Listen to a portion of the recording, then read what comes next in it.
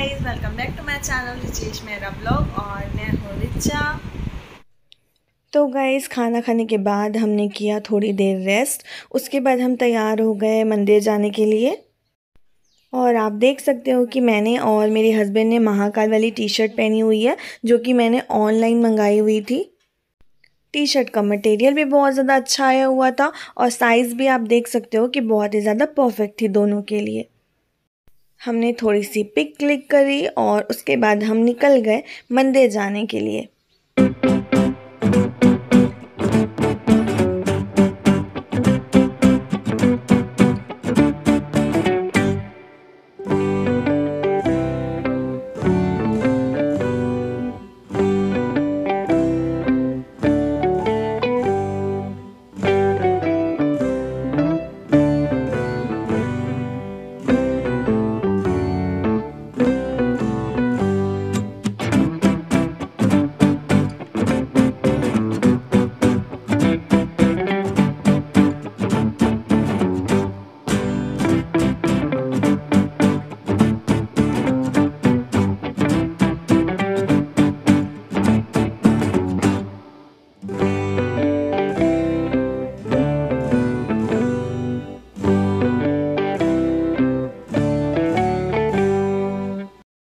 उज्जैन में इस शॉप पे गरम दूध और रबड़ी बहुत ज़्यादा फ़ेमस है।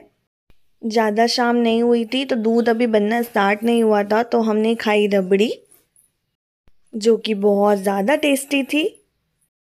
हम गणेश पक्ष में पहली बार उज्जैन आए हुए थे तो हमें उज्जैन के भी गणेश जी के दर्शन करने को मिले। अब हम मंदिर के बहुत ही ज़्यादा पास पहुँच चुके थे और यहाँ पे आप देख सकते हो कि कितना बड़ा पंडाल लगा हुआ है गणेश जी का। दूर से तो गणेश जी आपको सिर्फ़ ग्रीन कलर के नज़र आ रहे होंगे, लेकिन जब हमने पास से देखा तो गणेश जी पूरे मोर पंख के बने हुए थे, जो कि बहुत ही विशाल और बहुत ही सुंदर लग रहे थे। यहाँ पर गणेश जी का नाम भी लिखा हुआ था और आप देख सकते हैं कि गणेश जी का नाम है महाकाल के युवराज। तो गाइज़ मेरे साथ आप भी दर्शन कर लीजिए महाकाल के युवराज जी का। देन गणेश जी के पास ही बड़ी सी स्क्रीन लगी हुई थी जहाँ पर महाकाल जी का लाइव दर्शन चल रहा था। हम मंदिर जाने से पहले ही स्क्रीन के पास थोड़ी देर खड़े होके हमने मंदिर के अंदर का महाकाल जी का लाइव दर्शन भी कर लिया। आप देख सकते हैं कि अभी पूरी शाम हो चुकी है और हम जा रहे हैं मंदिर।